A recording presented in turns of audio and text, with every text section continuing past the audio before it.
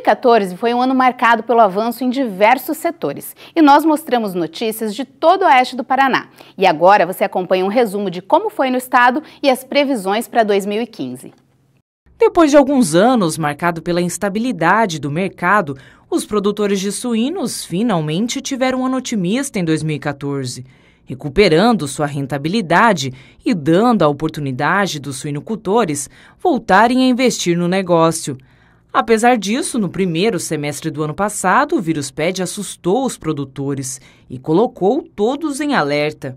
É, realmente fica uma sensação muito grande de medo, porque a doença ela é muito grave e os riscos são incalculáveis para a produção se houvesse uma entrada dessa doença. Em Medianeira, a nossa equipe mostrou um produtor que trabalha há 30 anos com um gado leiteiro.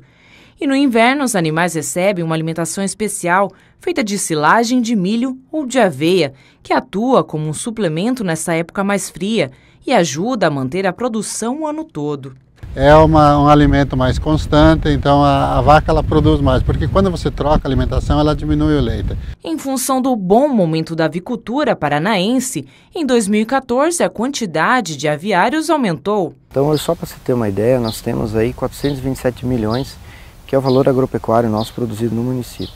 Só para ter uma noção do que a avicultura de corte representa, desses 427 milhões, 127 milhões é o que a avicultura de corte produz. Todo esse crescimento deve-se à recuperação das economias no exterior.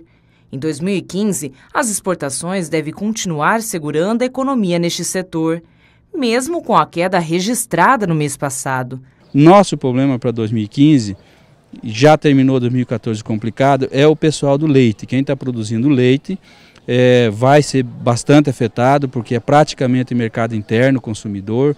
Já tivemos uma, uma boa diminuição da demanda no final de 2014 e 2015 isso vai afetar bastante o produtor de leite a nível de Brasil. O que surpreende é o crescimento no consumo da carne de peixe no país. Temos um, um bom, uma boa demanda por consumo de peixe, Parece que a população está eh, aceitando muito melhor esse produto.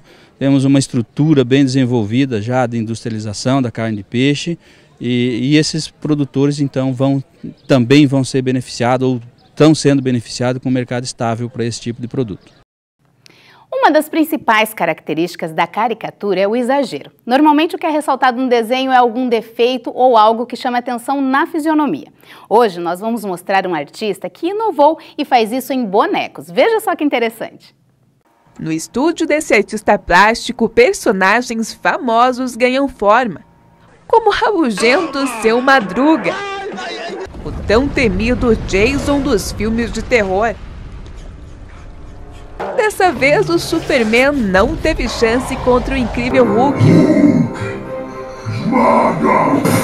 Os personagens de seriados como The Walking Dead também foram lembrados. O meu contato assim com, com a escultura, né, eh, teve início assim em 2000 e 2006, né? Eu tive contato com com, com, com escultura, né? as massas e tal. Então eu via aqueles desenhos na, na, nos, nos, cinemas né? e falava, não, eu, eu, consigo fazer isso. Se eu pegar uma massa, eu consigo fazer isso. Né? Então eu comecei fazendo bonecos, é, é, feições de amigos, né? o pessoal pedia, comecei a fazer amigos e tal. Aí virou isso aí, né? os bonecos caricaturados. Fazer uma peça dessas exige empenho, porque além de modelar, é preciso esculpir. Eu começo esculpindo e termino na modelagem. Começo com uma bolinha de isopor, né? Aí tem um palito de churrasco normal, né? É, é colocado ele aqui para dar aquela sustentação do, do rosto, né? Então tenho isso daqui. A partir disso eu começo a trabalhar com a, com a escultura da massa. Então você vê que é um, tra que é um trabalho assim é, que vai horas, né? Às vezes você perde 3, 4 horas no rosto, fazendo o rosto, né?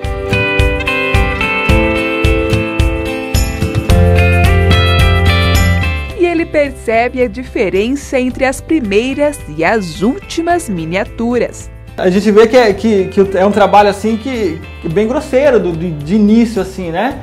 Então até você chegar num trabalho mais, mais delicado, vai algum, alguns, algum tempo, né? Esse eu fiz faz mais ou menos 5 anos por aí, né? E esse outro? E esse aqui faz 8 meses, 10 meses por aí. Adilson já enviou sua arte para diversos lugares do Brasil. A relação com o cliente é totalmente virtual. Como que funciona disso? Explica pra gente. Você olha a foto da pessoa pelo Facebook, é isso? Você vê o perfil, analisa, aí você faz o desenho e depois parte pôr a mão na massa. É, existe toda uma pesquisa pelo Facebook, né? O cliente me procura pelo Facebook, eu vou atrás de fotos de referência, né?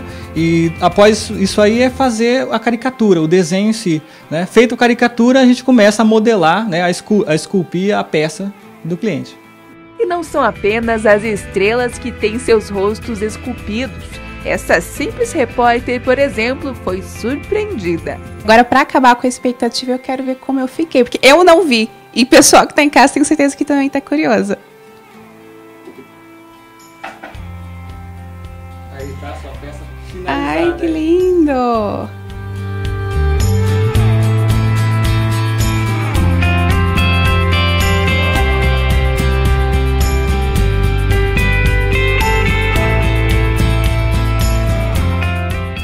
Lembrando que esse é um trabalho totalmente feito à mão.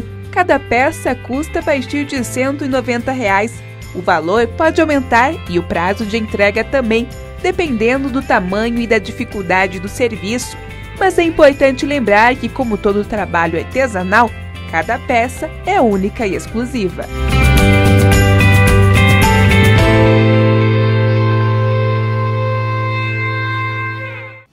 Logo após o intervalo, estamos chegando com o quadro Sabores do Oeste. Hoje, uma receita que pode ser a opção de almoço para você: a torta de frango light. É bem rapidinho. Aproveita para pegar papel e caneta.